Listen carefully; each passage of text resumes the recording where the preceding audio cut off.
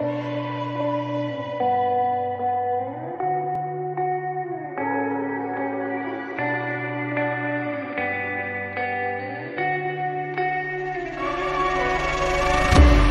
is a place where you can run free. Time does not exist.